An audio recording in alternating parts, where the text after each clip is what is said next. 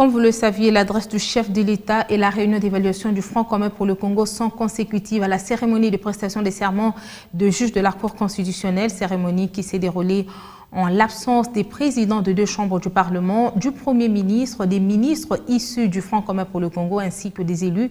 de la famille politique de Joseph Kabila, Dieudonné Kalouba, Kalume Yasengo et Kamulete Badibanga ont pris leurs fonctions mercredi à la Cour constitutionnelle.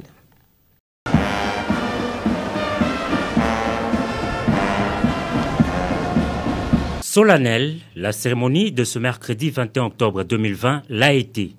Et ce jour historique prend désormais date.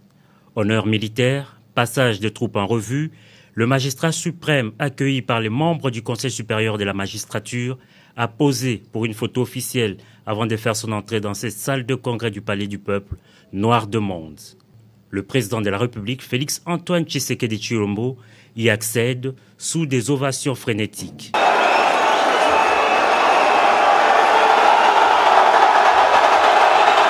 Hymne national exécuté et chanté à l'unisson, ça y est, l'événement peut débuter. Députés nationaux et sénateurs, membres du Conseil supérieur de la magistrature, membres du gouvernement, corps diplomatique et plusieurs autres invités sont présents. La conseillère principale du chef de l'État au collège juridique, maître des cérémonies, circonscrit le contexte dans lequel s'inscrit la cérémonie du jour avant d'inviter les assermentés à l'honneur à prêter leur serment légal devant la nation représentée ici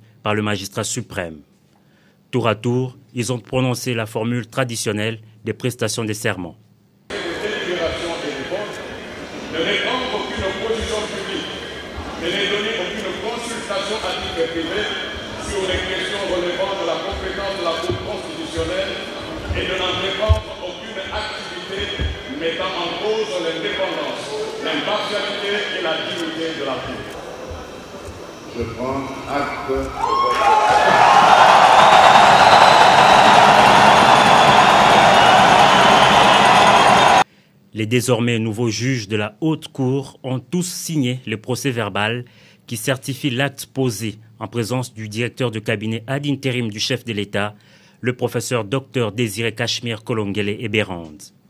Nommés en juillet dernier par ordonnance présidentielle, les juges Dieudonné Kalouba Dibois Kalume Yasengo et Kalumelete Badibanga qui entrent en fonction ce jour